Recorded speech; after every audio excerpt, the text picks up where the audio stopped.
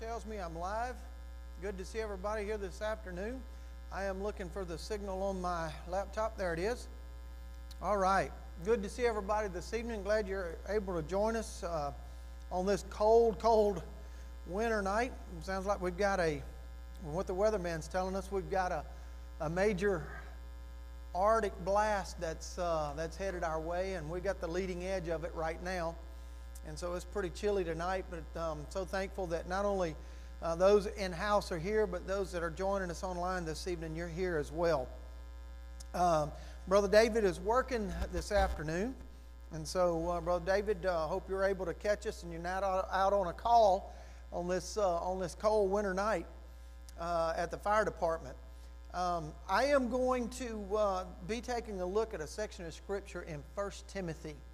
So why don't y'all join me in 1 Timothy chapter 3. 1 Timothy chapter 3. And uh, I'm going to read verses 14, 15, and 16. Hey, Miss Margaret, it's so good to see you. Feels like it's 10 degrees in Oklahoma. I am glad I'm not in Oklahoma, but it's pretty chilly here as well. All right. And all the others that are uh, that are watching and that are joining us online. I am looking at 1 Timothy. Let me type that in. Uh, 1 Timothy. Uh, we're going to look at chapter 3, verses 14 through 16. There we go. I just typed that on the comment section. Hope I spelled everything right because I don't have my glasses. And so, um, in your own in your own words, I don't have any one to walk a microphone around for me tonight, but uh, for those of you that are online and those of you that are in house and others are starting to uh, uh, starting to join us, I, I, want to talk about um, a word tonight. This is just some stuff I've been studying in my uh, in my own personal time. But I want to talk to you about the word godliness or to be godly. Uh, you know, the word tells us that we're supposed to be holy for He is holy. And there's another description of uh, how we're supposed to be, and we're supposed to be uh, uh, uh have godly traits to us. If Christ lives in us and we're walking out the um, the attributes and the testimony of Jesus, then godliness is one of those things. And a lot of people say, well, no, I'm not supposed to be godly. I'm not supposed to ha- have a, a, sense of godliness about me. Well, you, you are. And do you realize that, that just believing in Christ and being born again, that's having a, a godly trait? Putting your faith and your trust in Jesus. And so we're going to take a look at some of those. There's actually six of them listed. But does anybody have any idea of what godliness is? What godliness is? Uh, maybe a quick definition or an example.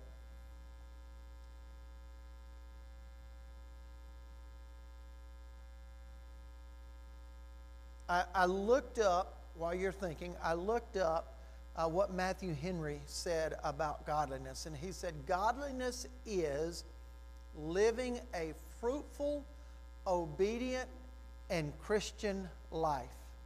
A fruitful, obedient Christian life. And so when I thought about that and thought about those three words he used to describe that, um, so when we're not living godly uh, and we're not producing fruit, uh, a lot of Christians are at that point, they're described as being backslidden. You know, I've, I have I am walking the Christian life, but my life is, if my life is not fruitful, in other words, I'm not living in obedience to our Lord and Savior, then I'm going to be backslidden. If you're truly saved, if you've given your heart to, and life to Christ. He also said it is one of seven qualities we are instructed to add to our faith after we become a Christian. And so this is just one of the seven qualities. So I'm, I'm studying through all of those. But this one is God, uh, that we have to live a godly or take on a, a godliness quality about us.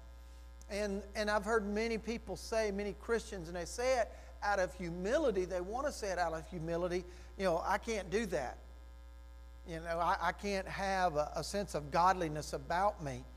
And, and I hear what you're saying, and, and I see to an extent what you're saying, but at the same time, it's not you, but it's Christ living in you and through you that gives you that, that godliness um, uh, reference or that godliness attribute about you.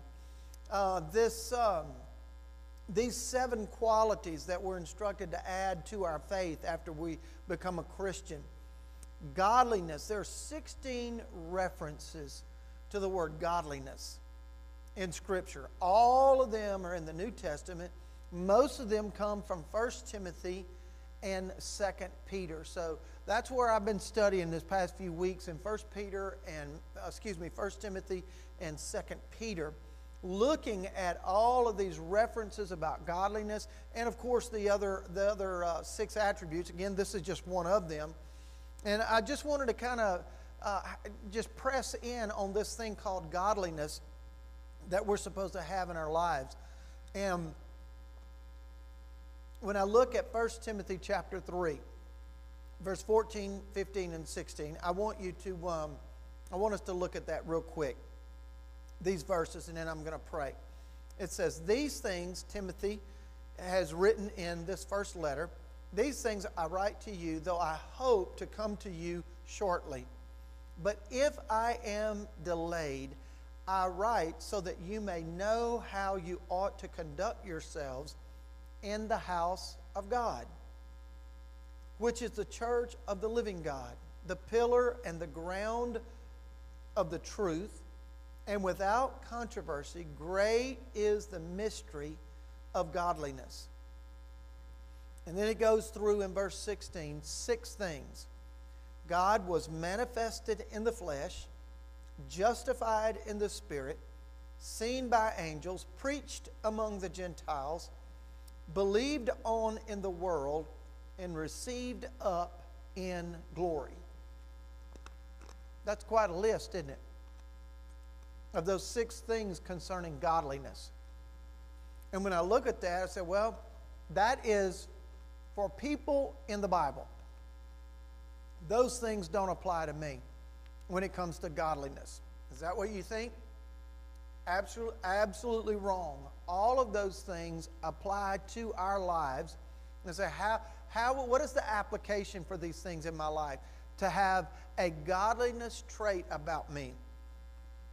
I want us to look, um, starting back at the beginning of verse 14. I want to point out a couple of things to you. First of all, prior to verse 14, if you're looking at chapter 3, you will see in the preceding verses, like verse 1 through 13, you're going to find the qualities of an elder or overseer, and you're going to find the qualities for a deacon. And what is, uh, what is expected of those people when they are selected and brought before uh, the church and presented as uh, their lives of having a calling of either elder or deacon.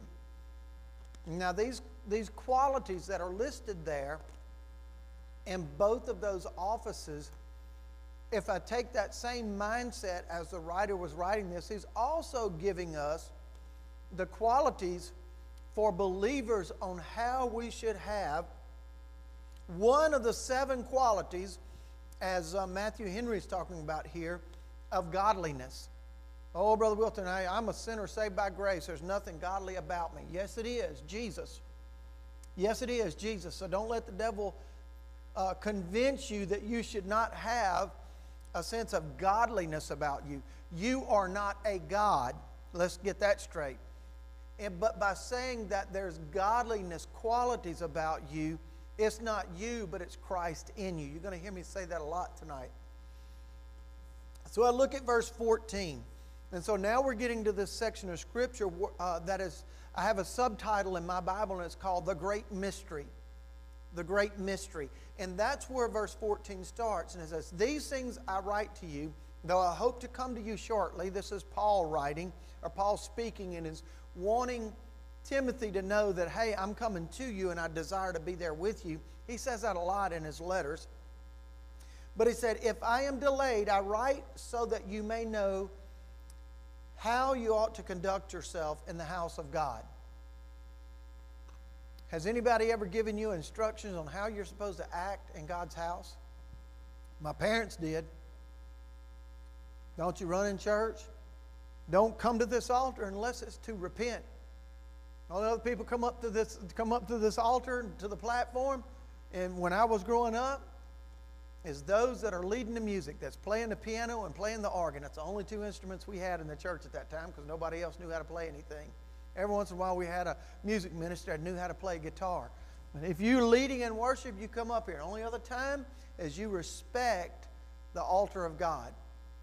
And that you come up here and you do business with God. This was a place uh, at the front of the church, this was a place where the gospel and the truth of the Word of God was proclaimed.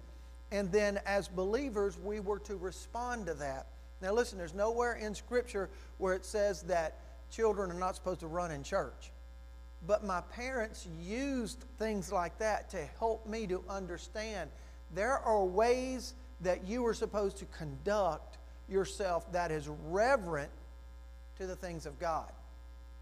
And so he's writing here and he says, But if I am delayed, in verse 15, I write so that you may know how you ought to conduct yourselves in the house of God, which is the church of the living God now, he drives that point home to say there's some godliness that's taking place. It is the house of God, and it is a place that is the church of the living God.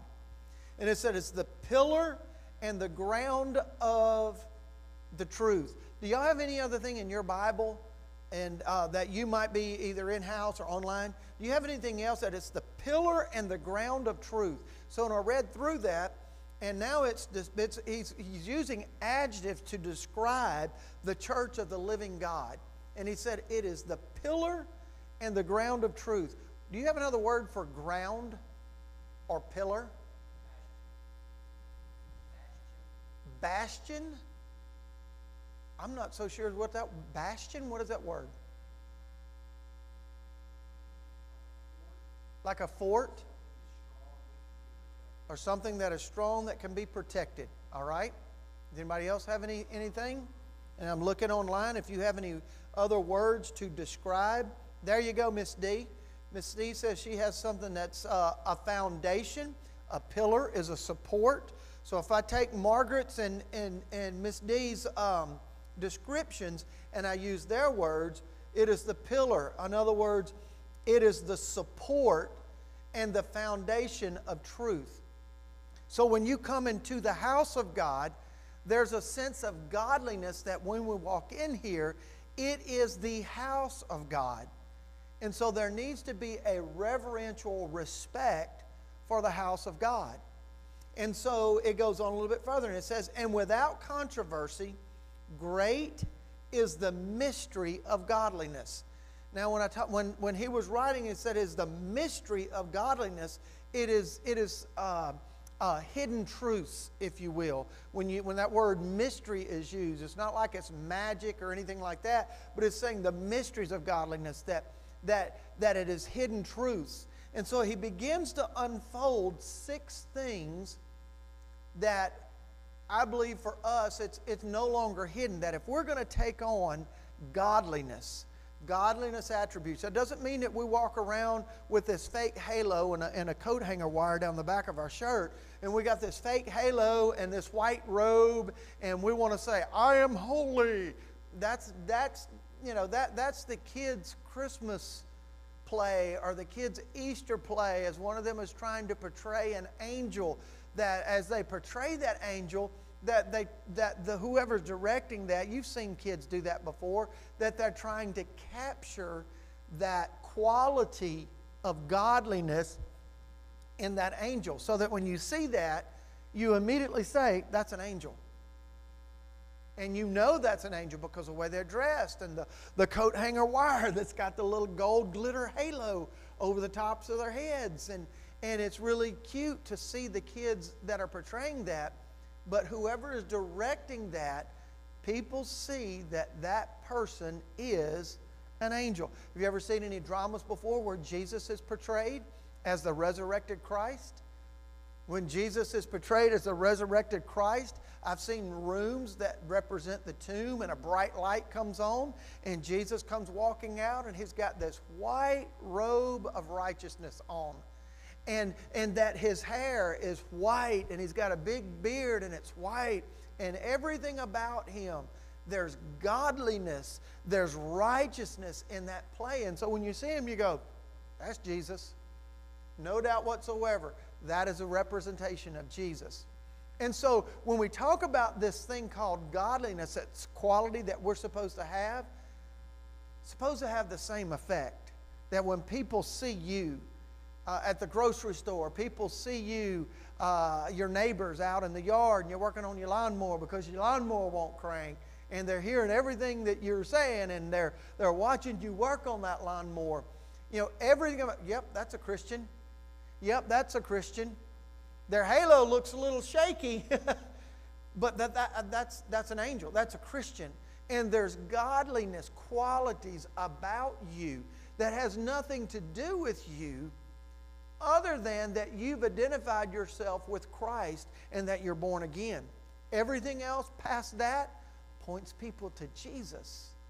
And so this, this, this quality seven of them all throughout scriptures, but the, the, this one particular one, godliness, it's fruitful, it's obedient, and it identifies you as a Christian.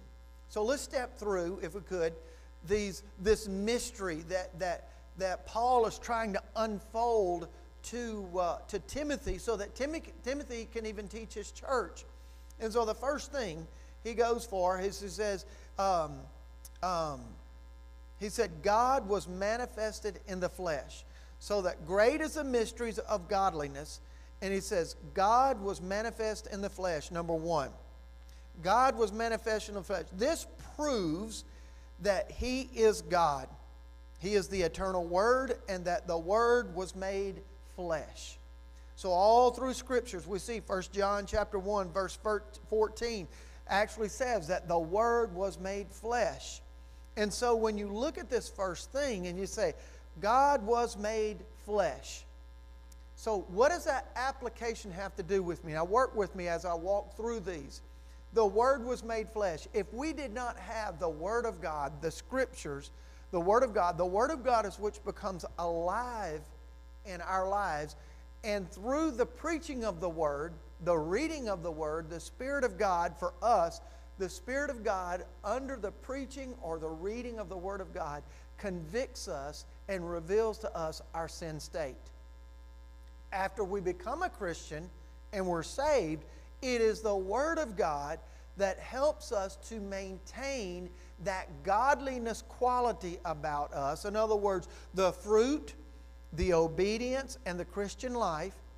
It is that thing that helps us on a daily basis to continue to walk in that manifested word made flesh, that manifested thing that God did in Christ. So the word became flesh. So that's one of the first mysteries. Can we explain it? No. But by faith, do we believe it? Yes, as Christians. So the second thing he says is that he is justified in the Spirit. Justified in the Spirit. So it says, whereas he, repro- he, is, he is the reproach, uh, he was reproached as a sinner. This is what Matthew Henry says. Whereas he was reproached as a sinner and put to death as a malefactor, he was raised again by the Spirit, so he was justified from all the calamities which, uh, which was loaded on him. In other words, all the sin that was placed on him and he was made sin for us and was delivered for our offenses. But being raised again, he was justified in the Spirit and was made uh, so he rose again for our justification and was delivered for our offenses. He was justified by the Spirit.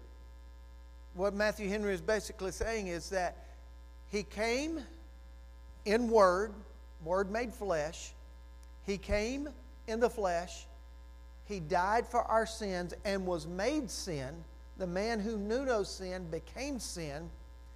And he died justly and rightly for our sins according to God's plan.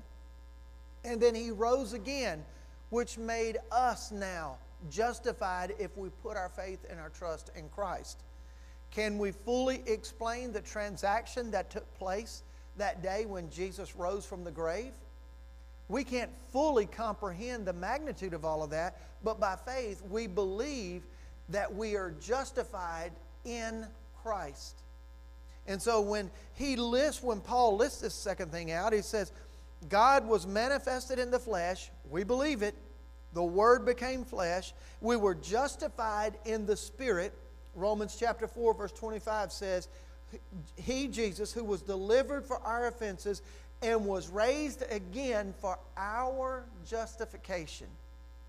Now, when we say our justification, it means that we are made right when we put our faith in Jesus, that we are made right before God. Jesus justified us in his death, burial, and resurrection. And so he says, hey, this is a great mystery and we can't fully comprehend it, but these, these qualities can be made real in our lives. So he steps through the third one and he said, He who was seen by angels. I was like, well, wait a minute. God, if I'm, if I'm supposed to take on godliness, I, I am not an angel and I have never seen an angel that I know of. Scriptures tell us we entertain angels unaware as we walk out our godliness. And so sometimes I scratch my head and I go, hmm. Afterwards, hindsight, I'm like, could that have been? I don't know if y'all ever had that experience before, but I have. Did something for the, in the name of Jesus, and, and circumstances began to become more clear after I helped that person. And then I think, wow. Case in point, I'll give you this illustration, kind of see. Um, Sarah and Josh were in an accident. You remember that? I shared a little bit about that uh, not long before we, we came here. In that accident, there was an EMS guy that was helping Sarah on the side of the road. Sarah's door opened and she was able to go out of the house, um, out of the car, not the house, the car.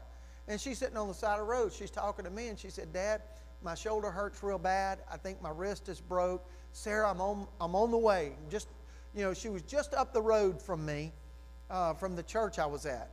And I said, Sarah, I'm on my way. Her and Josh were coming up to the church to meet me, and actually, Christy and the rest of the kids were coming behind them and uh, a man pulled out in front of uh, Sarah and Josh, and Sarah ditched the car, and they hit a tree. Said, Dad, Josh is all messed up. Okay, we know he's got broke bones. What about you? Dad, I think my wrist is broke, and my collarbone, my collarbone might be broke. I'm going to be praying for you. Sarah, I'm on my way.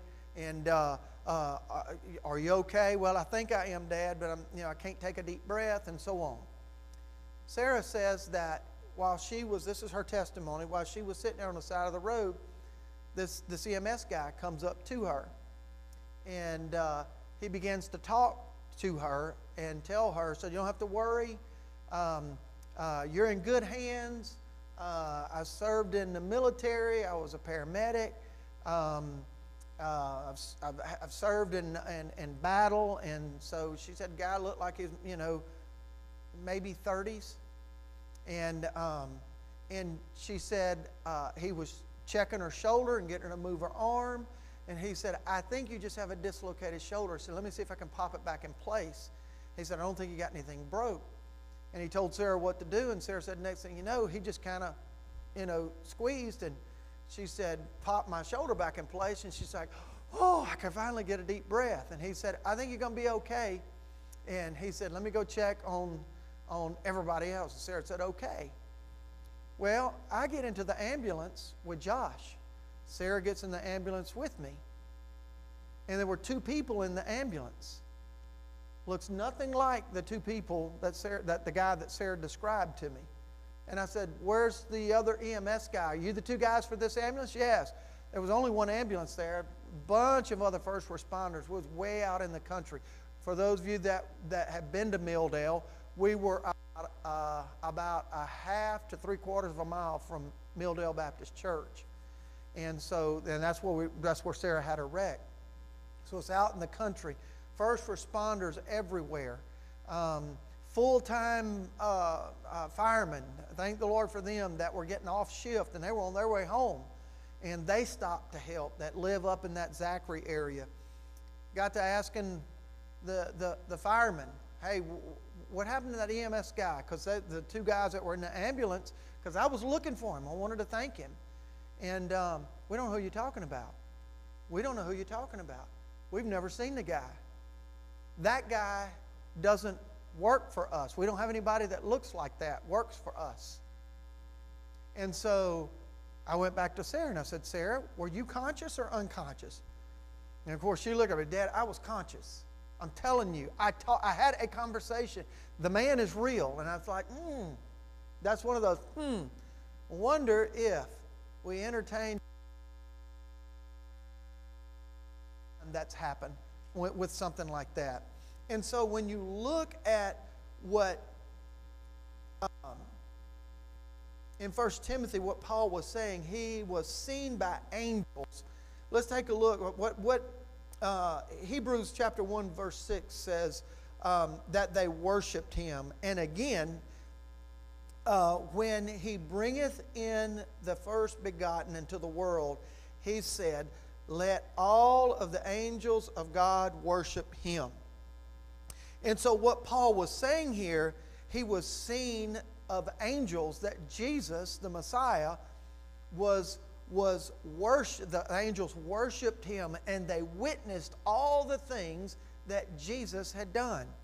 And so this this uh, hidden mystery about godliness is not about whether you've seen an angel or whether you are becoming an angel. That's, that's totally off base. What he's talking about is that the angels worshiped Jesus.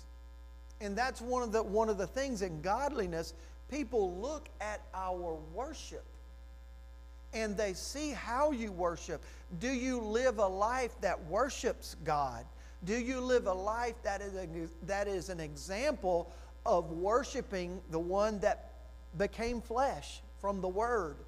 And so I look at what uh, the angels did in their worship, and it says, um, and the angels worshiped God and they attended his incarnation, which the Word became flesh. In other words, his birth. They were there worshiping in the temptation, in his agony, in his death, in his resurrection, and hallelujah, in his ascension. An angel was apparent in every one of these accounts in Scripture. In, and in the ascension, in the last one, if you can remember, and from the birth, they were announcing uh, to uh, the world that Jesus was, uh, the Messiah has come, the Word has been, uh, made flesh. And then we, in the ascension, as the, as the disciples stood gazing up into the sky, an angel said, Why are you standing there gazing? Basically, guys, you got work to do. The same way you've seen him ascend into heaven is the same way he's coming back. And you guys have got a lot of work to do. Now let's get busy. And so I'm paraphrasing here, but that's what the angel was saying. And so, what does that godliness as respect of being seen of angels, what does that have to do? The angels worshiped. And so, uh, another side of godliness in us is how you worship. Now, here's a question for those of you that are listening online and for those of you that are in house True or false? Here's your test question. Worship is singing. And that's all I need to do. When, I, when people look at my worship, that's how I sing. True or false? And I'll wait for the answers. Doom, doom. you hope not because you're sunk. Brandon said he's sunk. Exactly. And that's a big old false. Now, that might be a part of it. It's a blessing to see people worship. The Bible says that one day every knee will bow and every tongue will confess, no matter how you talk, no matter if you stutter, no matter if you can carry a tune in a bucket. Uh, we're all going to be worshiping in music and lifting our voices in worship to Him. And I think that's a part of it. I mean, if you come into church and you sit there looking like you've been uh, uh, weaned on pickle juice, and uh, uh, you, you, I mean, you have no attribute of worship about you, uh, that's not going to look too good. I mean, people are going to be, you know, lost people come to church, backslidden people come to church. And when they see you and they see you not worshiping in any way, shape, form, or fashion, and, and you look like you don't want to be at church, I mean, that's, is that a form of godliness that, that you should take on? No, it's not. But some people think that, okay, worship, when, when I look at the scriptures and I see that the angels worshiped, they were there. Listen to this, man. Listen to this. They were there with him from start to finish, from beginning to end. They worshiped the Lord Jesus. They worshiped him at his incarnation, at his temptation, in his agony, in his death. They were worshiping through, through his death. They were worshiping, they were there that God bankrupted heaven to send Jesus to this earth, and the man who knew no sin became sin that we might be justified if we put our faith in him. And then we can walk with one of the seven attributes that, that we're talking about here in godliness, that I can be godly in my worship. So, what, is, what this is saying is that I can worship God from start to finish from the time that I get saved to the time God calls me home, in my fleshly life, I can worship God. I can also worship God in the good times, and I can worship God in the bad times. And so basically, when I look and it says, as was seen of angels, they worship. We need to worship in the same way. And it's not just singing. It's not just singing. You have any ideas of other ways that your lives can represent uh, worship?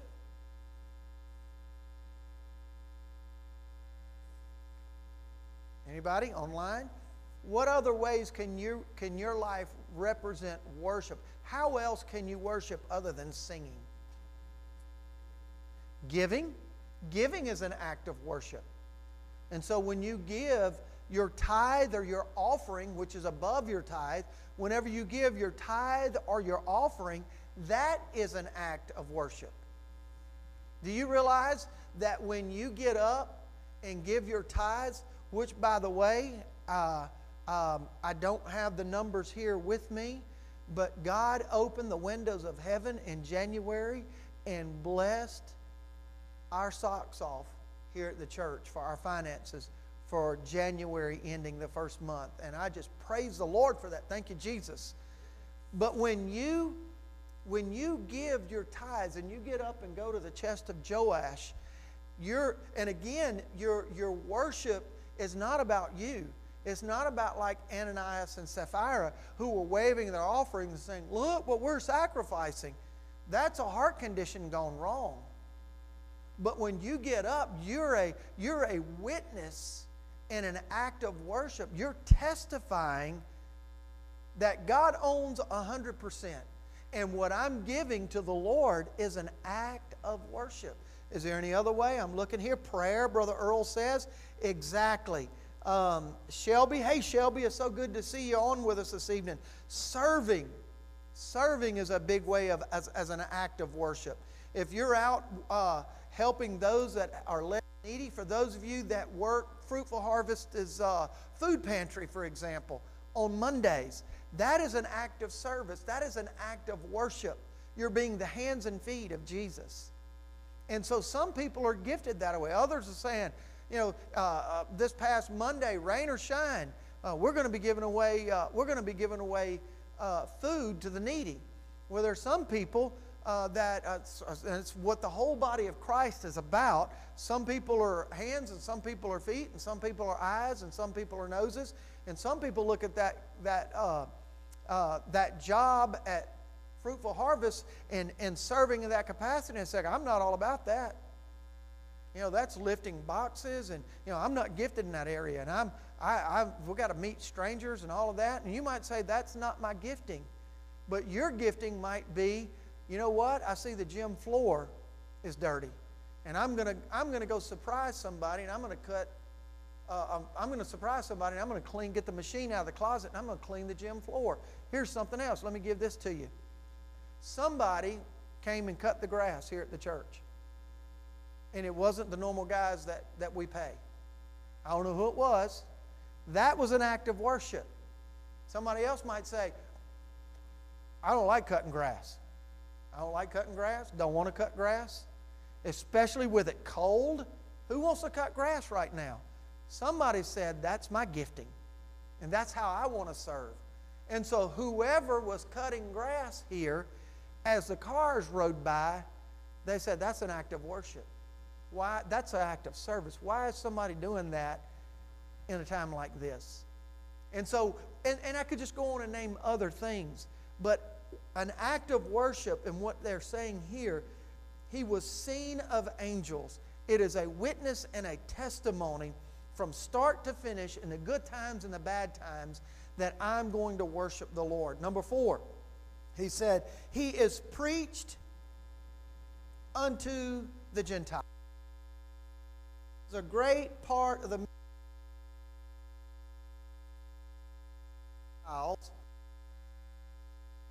Savior.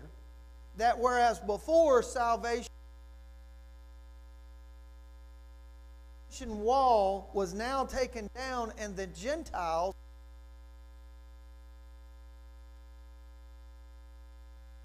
thee to be a light of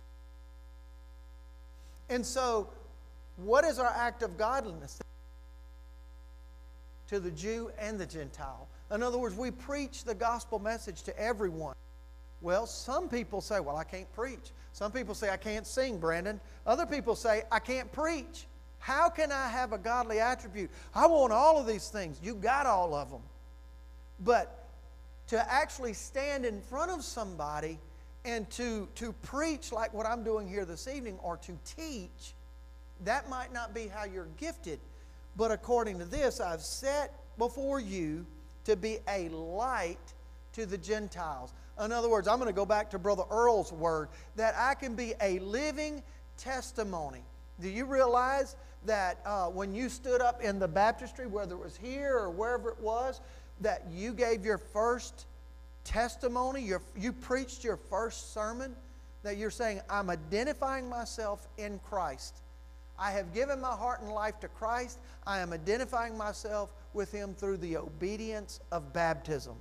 And everybody here, evidently at New Beginnings, is affected by those, those two kids that we baptized week before last because everybody stood up and everybody was clapping. Clapping for what? You were excited about the message that they were preaching. They were testifying, I just got saved, and now the first act of obedience is baptism, and I'm going to be baptized. And so they were baptized, and the church celebrated.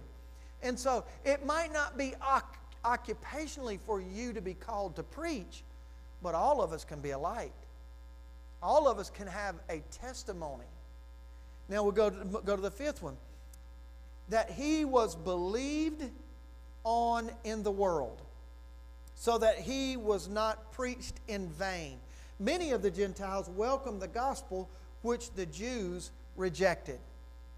And so when I look at what Matthew Henry is saying, and I look at this fifth attribute, believed on in the world, and I'm like, what does that have to do? Again, I'm trying to wrap my mind around this, this attribute or this quality, godliness, that a lot of people say, oh, no, no, no, no, no, I'm not godly. Yes, you are. And don't let the devil rob you of that because Christ lives in you and basically, these six things we're running through, if you know Christ, they're present in your, in your life. And so when I looked at this and I was like, that, that he was believed on in the world. And that's basically at your point of salvation. And not only at your point of salvation, but if you live out that salvation testimony, that many others will welcome the gospel into their life as well. Why? Because as further we move down this list, the more of these things of godliness is going to be present in your life, and people are going to say, What is it different about you? There's something about you that's not like everybody else. What is it? And what they're doing is they're paying you one of the greatest compliments of saying, I recognize the quality of godliness in you, and it's not about you, but it's Christ living in you and through you. So we don't wave our, our Christian flag around or polish our halo up because we've done something good. No, it's a love relationship with Jesus that I'm just walking it out.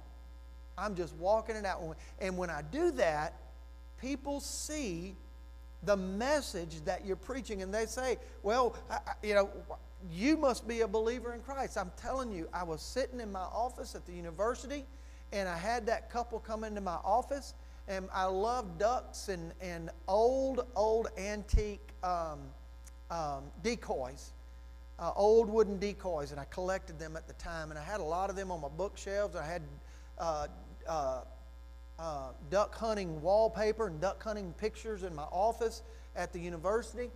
And this mother and, and father came in with their son, and they sat down in my office. And uh, as soon as they sat down, I put my hands on my desk, folded my fingers like this, put my hands down on my desk, and I said, How can I help y'all today? I worked in the financial aid office. I, I helped with grants, loans, scholarships, all that good stuff. How can I help y'all today? You're one of them, aren't you? What do you mean I'm one of them? Nothing in my, oh, no crosses, no, no hidden Bible in my bookshelf buried among a bunch of books on philosophy or duck hunting. I, I, just, I, didn't, I don't know. I mean, I, I, I didn't, I just didn't, I just like duck hunting and like decoys. And so that's the way my office was decorated. I don't know. I just didn't hang one whole wall with crosses like some of the ladies do sometimes. Nothing wrong with that. But I just didn't have it in my office. You're one of them, aren't you? Are you talking about me? Yeah, I'm talking about you. You're one of them, aren't you? I was like, one of what? And I thought he was talking about you're a duck hunter. You're one of them, aren't you? I said, one of what? He said, You're a Christian, aren't you? I said, Sir, there is nothing in my office that says anything to that fact. There's nothing around. I mean, I haven't said it. Why are you even asking me that question? He said, I can just tell. I can just tell. I can just tell the way you're acting. I can tell the way it's what's in your voice. And he was, he was like offended by it. And God just began to swell up in my, well up in my heart. Hey, it's not about you. It's about me. And He's seeing me in you. So you just, you just, you just do everything. Love Him. Love Him, love Him. And I was like, well, yes, sir, I am. And I said, but I'm not here to preach a message to you. And I'm thinking I'm already preaching a message. Jesus is. And it's that godliness, that it's the super, it's the mystery of godliness. It's the mystery. How does God do that? By way of His Spirit, that's the vehicle. But how does He do it? I don't know. He's God. And I just want to be just a vase. I just want to be a willing vessel to be filled up and to pour, be poured out for the cause of Christ. I can't even pour my own self out. I'm like a vase. I just got to sit there. God's the one that's got to pick me up, fill me, and pour me out. And then set me back down. I want to be used for His, His purpose and His cause. And so when I look at this, and it says that He was believed on in the world. So it was preached, and then it was He was believed on in the world. Godliness says that you have believed on Christ. Godliness says that that belief in Christ is now projected toward others that they may also believe. That's God's plan, that's not ours. It's a mystery, and I don't completely understand it. But all I know is, is there's a burning in my bones and there's a burning in my spirit to see other people come to Christ. And that's why I look for every hook that I can put in the water. I'll draw, I'll drive hundreds of miles to draw a black light picture that represents Jesus if somebody will come to the knowledge or believe in the word of the living God Jesus and trust him as Savior. I'll get up in the middle of the night out of a dead sleep and talk to somebody if they, and I have, that they are troubled in their heart that they're not saved. And I want to give them that message. And I want them to help to understand the truth of the Word of the living God, the truth. Dispel any lies that might be there, and they may receive the truth into their heart. I can't do it, but the Spirit of God can do it through me and in that other person, that they might believe on in this world. That they can believe on it in this world. The last one, and I'm done, it says, and that he was received up into glory. In his ascension, is basically what it's saying. This indeed was before he was believed on in the world, but it was, uh, but it is put last because it was the crown of his exaltation. Now Matthew Henry gets a little, well, he gets a little deep here, and in that he's saying that that we believe. Paul wrote this, and he says that we believe that he was received up into glory. Now we might see that on the back end, but Matthew Henry is saying the death, burial, resurrection of Jesus, and the ascending up into glory to retake the right hand of the Father, to retake his throne position. Matthew Henry says that that was already completed in heaven. And so, in order for us to take on that act of godliness, that not only do we believe that Jesus rose, as Scripture says, and the disciples gazed up into heaven, and there that angel was worshiping, and then eventually spoke to those guys and said, Hey, the same way you've seen him leave, he's coming back in like manner. The same way you've seen him go up, he's coming back down. But when he comes back down the second time, he's coming back down as Lord and King. He will come back as the lion of the tribe of Judah, the true Lord, the true King. And so, as he's, we, we do believe in that and we do preach that. But what Matthew Henry is saying is that was already a completed work in heaven. As Jesus retook the right hand of the Father, set back down in his rightful, glorious place. And as he did that, mystery of the gospel. The best thing I can the most uh, tangible thing, and God is not a tangible person per se, He's a spirit. But the biggest thing, I mean, the greatest thing I can relate to that is just standing there looking, possibly from a distance, watching those disciples as they're talking to Jesus. And Jesus is giving them some final words. And then eventually Jesus ascends into heaven. He begins to float, begins to levitate. And he went through the clouds and he went through the heavens into the third heavens where heaven is. God's throne, Jesus' throne. And those disciples just stood there looking. Hey, I believe that Jesus was received up into glory. But Jesus was received up into glory long before he came down, died, and rose again. He was already glorified as the Son of God. And so as we believe in that complete story, it's a mystery. I don't completely understand it. But from number one to number six, and all of these things that Paul was trying to relate to Timothy, hey, there's the way you're supposed to act in church. And there's some things concerning churches that is, um, that is a foundation and that is its strength, as referred to as the pillar and the, and the um, what was it? The pillar and the. Um, what was it? Support. And the ground. The pillar and the ground. And so there's more to it than that.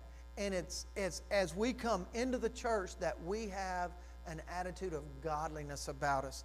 And so as we worship, as we walk out, do you know your words have a sense of uh, worship about you? Your attitude has a sense of worship. Your actions has a sense of worship. Worship, it just isn't defined as singing.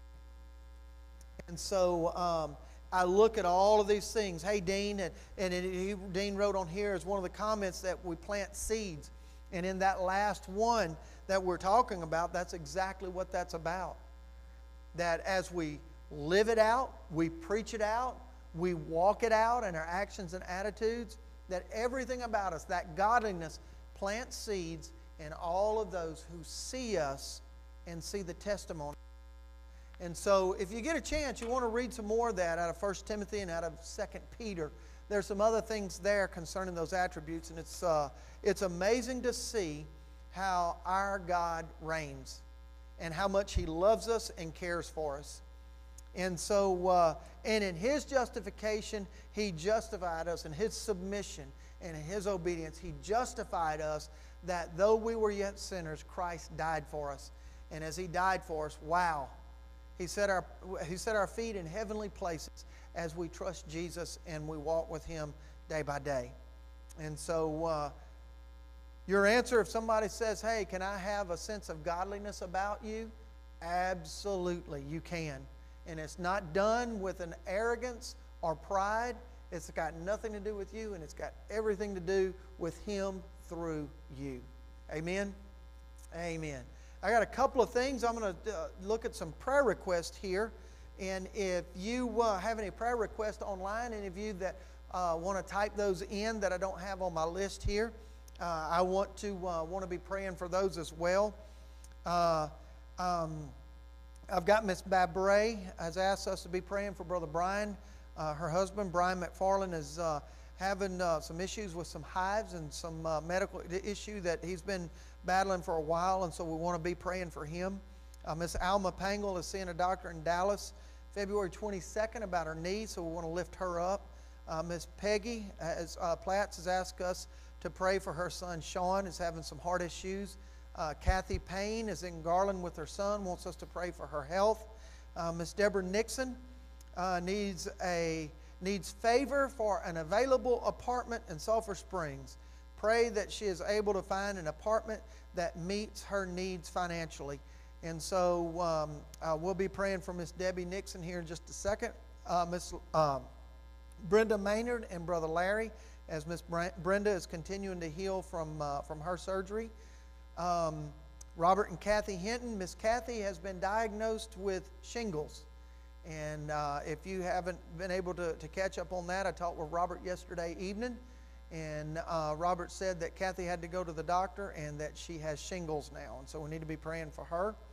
Uh, need uh, be praying. Miss Donna Jordan says, please be praying for uh, Jody Kennedy. Excuse me. Jody is the one that um, uh, has COVID in North Carolina. They drove over to do the Samaritan's Purse, um, uh, the Operation Christmas Child with Samaritan's Purse in Charlotte, and he got sick and uh, is still in ICU there. We need to be praying for him. Miss Gina Ivy, continue to pray for her health. Miss Carol Kirby, uh, praise the Lord, she's healing up finally, and uh, we need to just continue to pray for her healing and her leg. And then same thing for Miss um, Miss Sharon Harmon uh, she's asking for prayer as well. And so I'm going to start the list here on my paper, and then I see a few that are, uh, that are coming up online, and I'll, I'll cover those next. Uh, so, Lord, in Jesus' name, I want to lift up uh, Brother Brian McFarland to you. Father, he's gotten a, um, a, a, very, very bad rash that is uh, uh, really, Lord, just, um, and just invaded his entire body. And Father, we're just asking from the top of his head to the bottom of his feet, Lord, would you clear him up? And Father, just cause whatever seems to be out of order, uh, Lord, to bring in order. I know he's been in a lot of pain. And so, Father, uh, uh, just pray that you would calm the itching and uh, allow the hives to, um, uh, to, to go back down and this rash to clear up. And Father, you'll get him back on his feet, working and doing the things I know that he needs to do for his family. Uh, Lord, I pray for Miss uh, Alma as she's getting ready to see the doctor on the 22nd. Uh, Lord, give them wisdom on what they need to do to treat her. But Lord, in the meantime, we just pray for your healing hand, Lord, to, uh, to touch her and, Father, to bring healing to her body. Father, we pray for Sean as well, uh, Miss Peggy's son, is having uh, congestive heart failure. God, we just pray that you would touch his heart, and Father, you'd bring healing to him. Lord, in his downtime, Father, I pray uh, that until he sees your hand move, speak to his heart, Lord. Minister to him and let him know that we're lifting him up in prayer. Father, I pray for Miss Kathy Payne, excuse me, who's over in Garland with her son and is now staying over there. Father, I pray for her and ask that in Jesus' name that you would help uh, her health. That's the reason that she's moved over there to be closer to her doctors. And so, Father, would you uh, just touch her? Give those doctors wisdom on how it is that, uh, what it is they need to treat her with. with the wisdom that you can give. But Lord, ultimately, we know you can touch and heal her as well. Father, we pray the same thing for Miss Brenda Maynard. God, thank you for the work that has you've begun of healing in her. And Father, would you please just continue to do that work and continue, Lord, just to bring her back uh, to her full health. Be with Brother Larry as he stands with her, supports her, and loves her through this time of healing.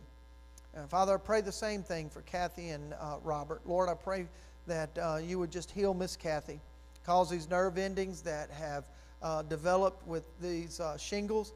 Father, I pray that you would allow the pain and the discomfort that comes with that, uh, Lord, to be arrested. I pray your skin would clear up. And Lord, these nerves endings would be healed in the mighty name of Jesus. Be with Robert as he serves her and stands with her uh, at this time. Uh, Lord, I pray for uh, Miss Donna's request of Jody Kennedy, who is in Charlotte, North Carolina. Lord, I thank you that you're a God that's not restricted in any way, shape, form, or fashion. And so, Father, let Brother Jody know right now. Reach inside that hospital bed, uh, hospital room in his bed. Lift him up by way of your Spirit, and God, let him know that we're interceding on his behalf. God, clear up the pneumonia that's in his lungs. Clear this uh, COVID 19 virus out of his body. And Lord, raise this uh, mighty servant of the Lord back up, and that he and his wife could, uh, Lord, continue to serve you as missionaries of the gospel of the Lord Jesus. Father, I pray for health for Miss Gina, for Miss Carol, and Miss Sharon. Each one of them, Father, have different issues, and uh, Lord, uh, you know what they are. And so, Father, we just pray that you would minister to the physical needs of each one of these uh, godly ladies. And Father, you would do it in a way that only you can. Father, we'll give you praise and honor and glory for that in the name of Jesus. And Lord, I'm also seeing on here that Mary's dad is um, needing prayer this evening. I believe that he fell.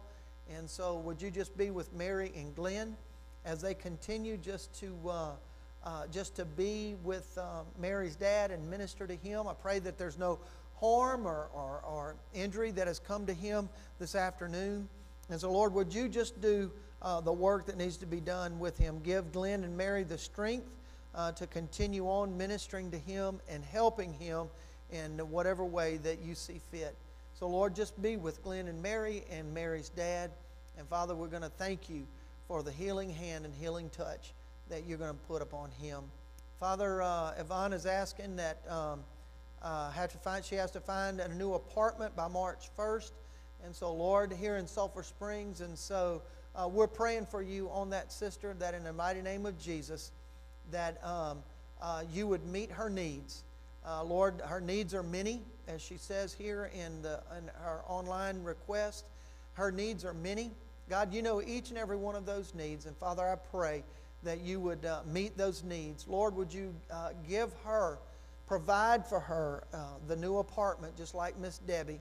Provide for these uh, ladies, Lord God, uh, that they, you would open the door that needs to be open for them and help them, Lord God, to be able just to know and to praise you that it's your hand working on their behalf. And so, Lord, whatever other needs beyond the physical, whether it's mental, emotional, financial, spiritual, Father, I pray that for my sister here tonight, you would meet those needs. She says that there are many here and so, Lord, you're a God that owns a cattle on a thousand hills. You stick closer than a brother. And so, Lord, would you just open the windows of heaven and pour out your blessings upon her right now? Um, also, pray for uh, Miss D that says, pray for those that are out in the cold tonight. And Father, in the mighty name of Jesus, we do pray for those that are homeless, that God, you would provide for them, you would protect them through this cold night. And and really the, the cold rest of the week and the weekend as it's only going to get worse as this Arctic blast uh, comes through our area here in East Texas. And so, God, would you just uh, provide the shelter and the needs for those that are homeless, that in the mighty name of Jesus, they would know, Father, without a doubt, that Jesus is their provider and their provision. May the testimony of the, the living God through Jesus Christ, our Lord and Savior, be with them grant them peace, and meet their needs at this time. We pray all of this now in Christ's name. Amen and amen. All right. Well, we're so glad that you joined us online. Thank y'all for all of y'all that have um, uh, put your prayer needs down, and I'm just sc- scrolling through one more time just to make sure I don't miss any. Uh, if you have any other prayer needs, we do pray uh, in the morning times here at the church. You can uh, email us here at the church initials, nbfbc.org. Uh, New Beginnings Fellowship Baptist Church, the initials NBFBC, and just send it to Diane, D I A N E, Diane at nbfbc.org. Um, again, we want to thank you for, for being with us and for those that are in house. Looking forward to Friday night. I'm hoping we don't get snowed out, uh, but we're, uh, we're going to watch it day by day and we'll make the call on, uh, on Friday on what it looks like, on whether we can, we can uh, make our unconditional love banquet for, for everyone. Uh, that's going to be a fun time. I'm looking forward to that. It's going to be fun. And so, uh, for those of you that can make it, uh, if you haven't signed up our list yet, I think we're, uh, we're close to 50 people that's going to be here. We're going to spread out in the gym. Uh, there's plenty of room to spread out that many people. And uh, so, if you want to be a part of that on Friday night, uh, our unconditional love uh, banquet, come and be a part of that for Valentine's. Bring your bring your honey or bring your friend. Uh, it's for friends and honeys all together, your wife, spouses. We're also going to be playing the dating game up here uh, with four of our couples, and so I'm looking forward to that. And so, um, uh, God bless you. You have a good rest of the week. And uh, if I don't see you on Friday, we'll see you on Sunday for sure. God bless you, and you have a blessed rest of the week. Hey, be a living testimony this week to somebody. Let them see the godliness in you and who you are in Christ. Amen. God bless you.